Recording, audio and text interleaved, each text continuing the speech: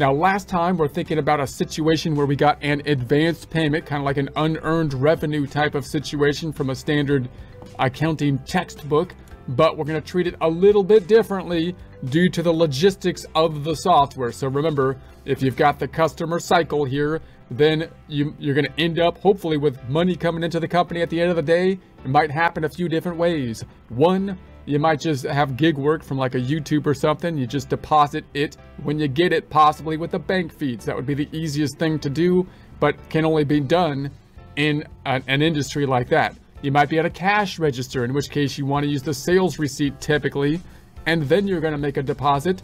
Or you might have to do the whole accrual thing, which is kind of cruel because it takes a little bit more time, but it's not too bad where you have to do the work first, like in a bookkeeping firm, law firm or something, invoice the client, track the accounts receivable, then receive the payment, and then make the deposit.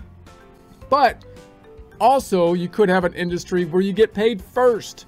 And we talked about some of those industries like a newspaper, you get paid first, magazines, now online subscription models for applications, you get paid before you do the work.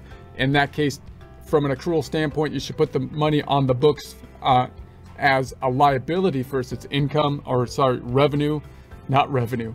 Cash goes up and the other side is not revenue, but rather a liability, unearned revenue because you owe the cash back or you owe the work that needs to be done. When you do the work, that's when you would record it as revenue. That's the general uh, idea. Now, in our example, we're saying we have a situation where we're trying to provide guitars, which is a high priced item. We're not making the sale at the point in time it's requested, but to make sure that the customer is committed, we want that deposit. So once again, we got money before we did the work. We expect to be invoicing in the future, but we got the money before the invoicing. Instead of putting it into a liability account, we made a negative receivable because from a logistic standpoint in the software, it's easier to track everything related to customers in the subledger account that's tied to accounts receivable. If I make a liability account like unearned revenue or a deposit or something down here, then that deposit is not tied to the customer, so I'm not going to be able to tie the invoice to it as easily. Now, we might have a workaround around that that we can talk about later, but from a bookkeeping standpoint, the easiest thing is typically the thing that looks most natural is to make this negative receivable. Credit the accounts receivable before you have the invoice. And let's see what that looks like on a subledger report. Right clicking, duplicate another tab to look at the AR subledger. And we're gonna go down to, to the reports again. And let's open, I'll close the boogie so I can see stuff. And then I'm gonna go down to the who owes you. And let's look at the customer balance detail report. Let's look at that one, shall we?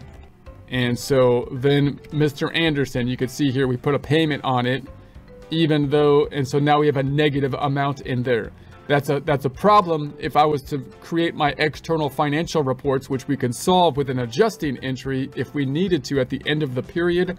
But logistically, it works well because I can look there and say, okay, yeah, if, if this person came in and said that uh, they wanted to complete the purchase, I can easily go and say, ah, yeah, you, you owe us we owe you money basically, so we got to complete that or apply it to the purchase.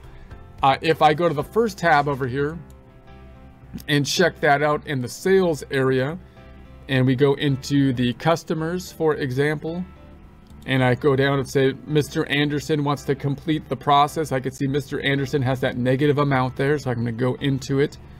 And so now we have the information here. So that's another way we can look at it. We got, we're going to go, if they came into the shop, we say, oh yeah, we've got this unapplied uh, $300 deposit. So when you make the actual purchase of the guitar now that we've got for you, then we could apply that $300 out to it. If you're in the business view, by the way, we're currently in the get paid and paid area and customers. We're under the customers tab. Okay.